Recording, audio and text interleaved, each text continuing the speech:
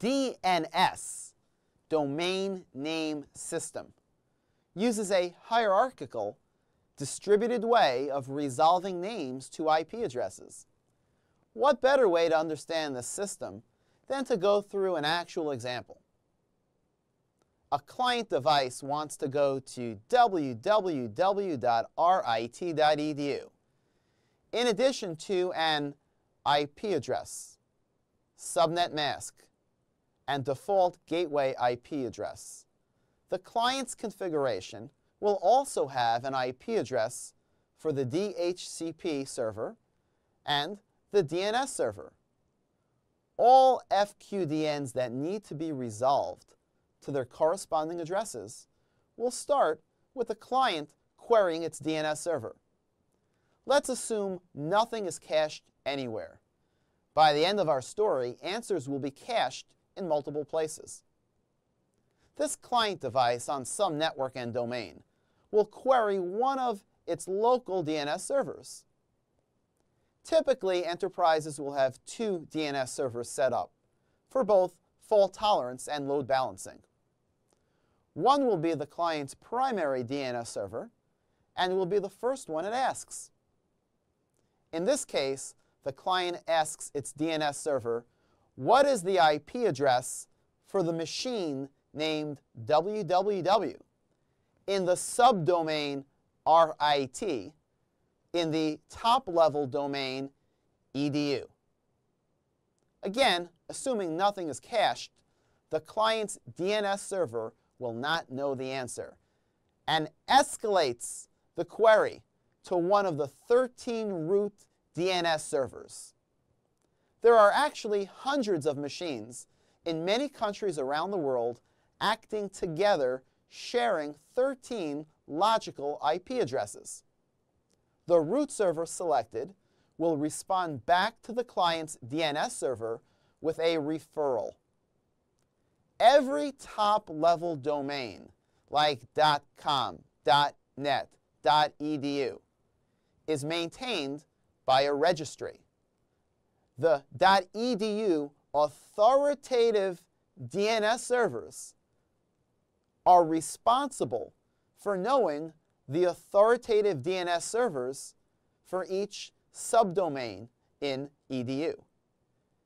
In other words, the EDU authoritative DNS servers can't possibly be tasked with knowing the IP addresses of every resource in rit.edu, as well as every EDU subdomain. Think of all the overhead that would be involved not only storing all of that information, but maintaining it as well. When a resource is added, removed, or modified, the single authoritative DNS server for that EDU TLD would have to be involved. Furthermore, RIT and other colleges wouldn't even want this, as many resources are internal and private. The only thing the EDU authoritative DNS server needs to know is a point of contact at rit.edu, the authoritative name servers for the rit.edu domain. So as far as our story goes, the client machine asks its local DNS server, who puts the client on hold and asks one of the 13 root DNS servers. The root server queried gives a referral back to the client's DNS server for the IP address of one of the authoritative DNS servers for the .edu top-level domain. If the client had queried for the IP address in a different TLD, like .com. The referral would be for an authoritative .com TLD DNS server. The .com authoritative DNS server needs to know the point of contact DNS servers for subdomains in the .com top-level domain. In fact, the same is true for the authoritative DNS servers for every top-level domain. They need to know the point of contacts for each of the subdomains in their top-level domain. In our story, the authoritative DNS server for the .edu domain gives a referral to the authoritative DNS servers for the RIT.edu domain.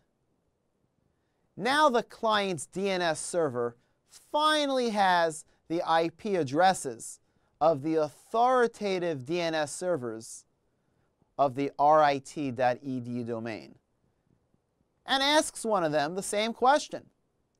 What's the IP address of the machine named www in the RIT subdomain of the .edu top-level domain? One of the RIT authoritative DNS servers gives the answer back to the client's DNS server. It's 129, 21, 1, 40.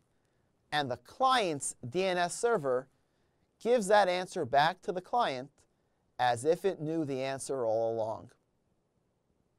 At home, like our DHCP server, our DNS server exists in that little box that everyone simply calls router. Like the DHCP service in that box, the DNS service is not as robust as it is on an enterprise server. All our DNS server really does is send all queries to our ISP's DNS server. Our ISP's DNS server then does the heavy lifting to get the answer, delivers it back to our DNS server in that little box called router, who then gives the answer to our client device.